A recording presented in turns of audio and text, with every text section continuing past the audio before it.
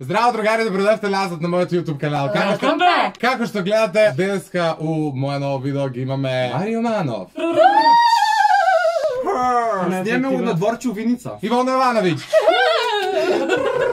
и Мартин звани лепа вредност. Е! А, да, Мартин фотографо. Фотографо. Со фотографо. Ја вода тече од мене. Ајде. Меѓу луѓе сум, сите имаат по 36-7 температура. Ова е видео без тема и содржина. Абе, не лупај. Не стрбире. Многу ми е жешко. Ова е видео без тебе содржина. Зашто? Затоа што ја одлучив да играме една тура, само нема многу да држиме тоа време. Ајде бе слушајте, еден збор една песна. Сите кажуваме по еден збор, сите пеем по една песна и Нема завршува шанса видеото. те Три, четири уред. комарец. Ајде, бе не мораш да пееш ти ко, не што знам. треба пеам? Па кажеш песна, некој рецитира, нешто прави. Има ли некој ле песна? Бе, кажам, Е, Ајде. Ајде прв ја да ја скршам да. Ајде. Ама сите ти кажуваме по еден збор. А, не. И треба ги спеам. Бисери. Не бе брат, еден збор една песна па си гледал некој. ајде. Ајде, бисер. Не сум гледал. Бисер. Не знам, ајде. Е, не знаеш, па А не, али не, не знам. Еве, Не лупај со тоа рад. не, јас знам, јас знам го ти кажувам, знаеш, пример. Пример. Било што.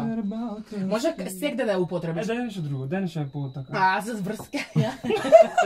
Абе, многу ми е жешко. Лек, лек, лек. Лек. Да. Ова намерно прави. Кажи нешто англишко. Шо е лек? Лек. Добре, дај ми малце некој хинтче за песната што мислиш, сигурно очигледно имаш песна. Многу ми е Добре, жешко. ајде. Мале, цела се Не бе друга игра. Абе, каква друга игра? Па интересно е ти... Ај ти Крај последно. ми менеджерката. Ајде последнките. Крај менеджер. Дај сними го вака. Не можам да ја мрднам камерава, пошто едно... Па јас се топам. Драги гледачи, во позадина на, на, на ам, камерата се наоѓа мојата прекрасна а, и драга почитувана менеджерка Марија. Ама нека се појави, ајде да Николова? се слушаме. Дојди малце цирни. ајде. Маријана дојде да каже здраво. Само пас да не мрднеш масава, пошто ќе падне телефонот. Само И поздрав до сестрата на Маријана. Елеонора Поздрав Николова. Елеонора. Поздрав. Знам дека многу ки значи. Добре, ајде. а, Цвеќе. Е, ајде сега, Ма- Мартине. Цвеќе. Ама бе полско цвеќе не на ме покрие. Океј, Дечки, добро. и на- кафените. Се прв види, се не знаат да пеат, автоматски ви доаѓа као знаеш. Е, нема врска, имам И два. има врска? Полско цвеќе, па имаме два И иста. шо? Два стика, па не е идејата бе, да треба да Па тоа е идејата, не е поента Да да кажам ти пееш, да погодиш песна. Океј, ајде. Ајде, дожд. А, после дождот Нада Талевска. Плачам после дождот, плачеш знам и ти, ја сакав Ја да ја знам. ти речам. Да бе, ќе компонирам нова песна ја. Кој е, ти си? Не, Манов, не, кој е наречен? Манов му кажа на Мартина. Ти извини, кај си цела прича? Кој у цвеќето? Па ти го дадов Ја и цвеќе. ти искачеме ќе пееме. При вас, при тебе жива, ја да пеам. Маријана и Розана! Да, овде нешто има. Можем да кажем Човек, збор. сите ти Може, значи по можем да збор кажем на да. тебе. На Ивона кажеш. Значи, можем да збор. Може, на Ама на зашто јас се Значи, твоја? можем да кажем. Зашто ми мене не кажа? Марија кажа? збор. Ај Марио каже на. Ивона збор. Проблем. Ти си проблем, што сакам да го имам, ти Добре. си дрога. Добре, окей. Прво, Што сакам да ја примам прво. Ти си тајна. Ајде Ивона се кажува збор на На? Мановога. На Манов. Ајда. Радио. Менеджерка, ја по- кажи нешто. Гледаш? Радио. Радио. Е, па она го виде радио. А, Ама знаеш песната Ама има, радио? да. Има да. Радио. Радио свира за Е, па за тој погадјаш ти. За нас. Ова, ова, па ова го курчи ја колата, тоа ти викам. Радио свира у колима. Кажи нешто. Елена Томашевиќ Беселјак. Дечки, ние изиграеме фал многу. Е, па Елена Па не, ја- не ја слушам, ја, знам глед. само од Томашевиќ. Мене ќе пием кафе. На Ајде. fucking Eurovision. Ајде бе, Не, ја малце. Дајте друга тема на видео. Ај, ова не идеш до не. Абе тема, бе, дајте Не. тема. Ајде Ајде ќе зборуваме за некоја општествен тоа? проблем, да видиме пример за деца. Ајде, ова нека ти биде само интро. Како пропадната Па кој е интро 10 минути? На кого ја мага? Ја твое место само се ќе го А одјавам. ја најави ли го? Ја не јави. најави видео. Кажа, А го најави онака пр- Не, не, не, Кажа тоа здраво и ние ќе убацивме. Имаш такви три верзии, ќе си избереш. Аха. Па јас сите три ги ставам. Леле, многу ми е жест. Шоу бизнес у Македонија. Пуцате, Ајде, свак да каже по две минути има Ајде, како она Шо шоу бизнес у да? Македонија. Не, и- Три негативни, три позитивни страни. Пука. Добра идеја. Ја, Македонија, окей. Да. Значи и под шоу бизнис да устарта и да се оградиме, значи подразбираме естрада. Све што е јавно. Дека инфлуенсери, под све, све, све. Чак и политика, и тоа е Па и шоу тоа, бизнес. па и тоа. Многу ми е драго што почна да се развива инфлуенсерството е, и затоа што долго време нели следам разни луѓе и следам на различен јазик и многу ми е драго што има е, без потенцијални и добри луѓе кои што снимаат е, различен контент. Сега многу е и озлогласено, морам да признам, имам безброј статуси кои што Words. зборат за Words, words. кои што зборат за е, тоа како ништо нема во таа работа, дека тоа креирање е без врска и дека као Извини, само седиш и Ќе те прекинам поише би се надоврзал на тоа дека е лесна работа. да, Тоа е мислам ка првото нешто Да. кое што, нели? да, Лесна нема врска. Лесна работа, скараме. се снимаш.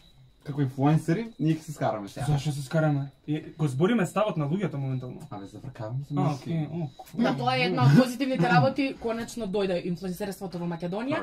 И кога ќе кажам инфлуенсерство, мислам на било каква влијателна личност, не само како инфлу... инфлуенс, инфлуенс. Например, еве и ние, еве, ја и Марио сме пејачи, И ние сваѓаме у групата на инфлуенс затоа што ја, например, константно инфлуенс значи влијание на луѓе и ја константно гледам на Инстаграм да давам некој мој став за да извлијам на тие луѓе, без разлика дали тоа ќе е кроз песна или кроз а, различни став став напишан а, Да, или кажам. најобично стори на крајот Да. денот споделување на став. и да. треба да не го злоупотребуваме тоа инфлуенсерство и не треба нели да презентираме дека треба да се пуши цигара или нешто така. Добро. Кад смо каде цигари, дај ми ги ајкос. Па да, да тоа е Марио. Ја ќе кажам едно нешто, за, а, поврзано повеќе со музикава како шоу бизнес, затоа што тука ајде нај, најмногу сакам да зборувам и вона веќе ја зафати тема во инфлуенсерство. А, пред неколку дена налетав на, не пред неколку дена, ако не и денес, налетав на една статија како македонските артисти апелираат да им се откажат на стапите на сите- српски артисти во државава, Да, затоа што стори демек јави, а, луѓе во немале работа година дена и сега наместо тие да настапуваат, настапуваат некој од соседството. Јас ја разбирам потребата на македонските артисти да го изјават тоа, меѓутоа ако влеземе малку подлабоко у таа проблематика, мислам дека никој од ниту од Србија, ниту од Хрватска, ниту од било која друга соседна земја не е виновен затоа што е поканет у, у земјава.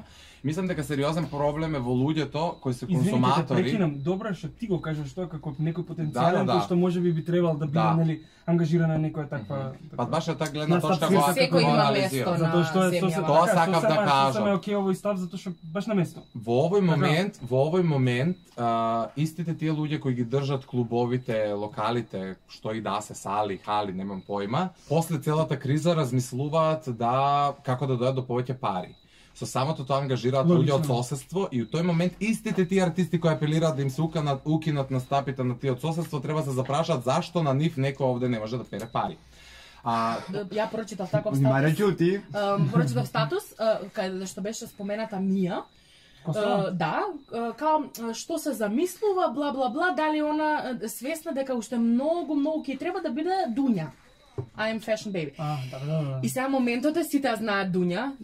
И сега а, Дуња прави прави сега сличен контент и Мија прави сличен контент. Сите нели се Па а, горе долу, сакам искрено да не ги кажам споредил сите различни. ја не, на не би Нели, Да, нели? али пак е тоа рекламирање на, на нештото, Ма водење на таков... прават тоа. Али ја мислам дека али тука еден Дуња поставува не се лае стандарди. у Македонија. Проблемот, проблемот е што се и таа. Дуња е некогаш, неколку години, тоа не било многу одамна, скоро, била на нивото, ако воопшто треба ги споредуваме, на Мија. Ме разбираш кој, кој, кој е проблемот што првин ги споредуваме? Епа, тоа- Второ, е, нели, као на крајот денот во рете ду, е, наша Да. Мија, застани извини, Мија, доколку би споредиле сега со Дуња, први немат логика. Под број еден, Нема. не се на исто Нема. ниво. Во нели следачи, легит, инфлуенсери се, се тоа. Тоа е едно. Второ, на крајот денот, што има лошо во тоа? Тоа е, тоа е моментот. Мија, на, тоест на Мија да и биде можеби некој репер или да биде некаква е, цел е. Дуња. Ама моментот е што а, а, Дуња Кој ретко и кој да е така, ама и Македонија... да е така и на кој е проблемот? Па не е Што има проблем нема во тоа да си има црта сакам да некој Дуња? А тоа е лошо? Не. Еднаш го Дека начинавме за моабетот- Душан, се сеќавате не? Човек, Да, да, мене да. Моабетот си ми е... Што има дека страшно Дуња, у Македонија не ја плукаат, зашто рекламира, зашто води таков живот, а Мија ја плукаат на Добро, тој се враќаме на тема која што нашо на Тоа, нашето каде што нашето се Али плука, тоа е, тоа е правило број еден дека некој на балканско ниво ги поставува стандардите. Да. И секој овде што ќе почне да работи у било која сфера, без, без разлика за која професија станува збор, еве ти фотографираш, Во го имаме Душан Петровиќ и да, секој да, тебе да. ќе те споредува со него. Што се А, случува? да, еве ја имаме Мија ќе ја споредуваат со немам појма Дуња Јованич, го Така имаме така. Марио, него ќе го споредуваат со Бака Праси. Па јави се, кажи Не, што се имаш. шалам, намерно ти кажам за Околу За да извадиме реакција. За овош. За општо за О, си ги број трски бе, а овде. Ја, ја можам Може да да кажам на оваа тема, почни например, се. ја би се на тоа како фирмите у Македонија ги брендовите у Македонија нели пристапуваат кон инфлуенсерите и е нешто кој што на пример мене не ми се свиѓа заради тоа што не сите брендови у Македонија знаат како да постапат со инфлуенсери, знаат како да постапат со со пејач, Што не почит некако ти доаѓа, Да, нели? и мислам дека тоа, например, кај нас у Германија, кога го споредиш тоа, е многу, тоа се две различни света. Да. И многу од нив а, не разбират дека некои од нас, не сите, значи не Тоа е сите, сакам да кажам не не А, е често, да, ама не е дека е нели секој бренд дека на лош Да. начин пристапува. Част Да. поединци имам. Ша- Има да, има точно. има На исклучици рака се, ама ги постојат. Да, али а, мислам дека тоа е нешто според мене како што треба да се смени Македонија заради тоа што ако сакаш да сработуваш со некој кој што знаеш дека има потенцијал да ти го презентира продуктот најдобро светло, мислам дека треба да имаш некој како да Почит, тоа? почит, бе, не, не, некој одреден начин на пристапување кон, Да. кон Кодекс. Да, Да. тебе конкретно, тебе конкретно ти смета Да. начинот на кој што Да, и исто ми смета тоа што кога Кирилица, голема буква, Не, не, не, не. Зборам тоа, на- види, Не само тоа, него тоа ти се обраќаат као бе братче да те прашам, Да. може ли да Да. на Ти можеш стори? да потврдиш колку пати такви пораки добивам. Да, да, да, да да. ти кажам нешто здраво. Брендовите у Македонија буквално тражат од нас како инфлуенсери многу работа за маленки пари. Да, да, Јас да. не е знам со, кој со кој ум или со која мисла го го, Со го кажа тоа. Не, а, со а, не сваќање на сериозност. Тоа сакам да го кажам на работата, да, тоа за не телевизија и за радија се даваат е, големи пари Да. затоа што имаат као некаква тежина, инфлуенсерите се гледаат као нешто што е пропратно. Не би И се ајде, до не, крај. и- би не се сите, али пошто баш сега е повезено, да. ситуацијата, не би рекол дека дека е Почнува полесно да се развива, ама не е до тој степен. Ја мислам дека се што уште ги доживуваат инфлуенсерите као резерва. Као нешто што е у Па телевизија не, ќе платам сложил со а, тоа. 1000 евра секунда Да. у прайм тајм, а на инфлуенсер ќе му давам 100 евра да 30 дена му објавува на стори. Мислам, До- тоа е будалашка. Тоа, Мислам, тоа е пример и ова е вистина. сакам да го- да Затоа, затоа не значи, викам дека тоа ова е е целосно. Значи, далеку од целосно. Да. Дека ова е пример и постои, тоа сигурно. Да, да. Ама дека ги има и овие другите кои што кажеш сигурно, мислам, Е, не сигурно туку отвори 100% тема, ме разбираш како нема не не е можно да да бидат сите знаеш на лош пристап или на лош начин. Тоа не е, На значи, крајот денот пристапот може само да биде како шлак на целата ваша комуникација. Знаеш, тоа е веќе негова култура. Само сметам Налично дека кој што доколку го- што ти бренд, пристапува. доколку бренд се одлучи да работи со Марио Рангеловски и знаеш што Марио Рангеловски прави на, на социјални мрежи, како он постапува со, неговата публика, како он се понаша, Да. јас сметам дека тај бренд нели е известен за него и дека без разлика на се тоа веќе сосема да, нешто друго. али не да, без да. разлика на, на Информираност на со кој цена работиш. И на се, едноставно да имаш на- наш одредно, окей, јас сакам само да Да, работам и тој и тој, и кодексот е многу важен. Да. Не знам дали, дали ме разбираш. Да, да, да, јасно, јасно, апсолутно, јасно, јасно, да. и слажем се, да. Океј, Тука имаше буквално еден збор, еден песна, имаше теми, Теми. имаше Да, имаше го Така на шуфер, на вас се свигаш ово Ајде, доближете се за тамнејл да имам само. Hvala što ne glavte, uh, like, share, subscribe, zasledite gi sita, vije moji drugari na, na socijalnim mreži. Socijalnim mreži. Linkovi, ki bi ostao mu deskripcija i uh, se nadam da kuživate, se nadam da bi beše zabavno. Ćao. Ćao. Ćao. Daleka.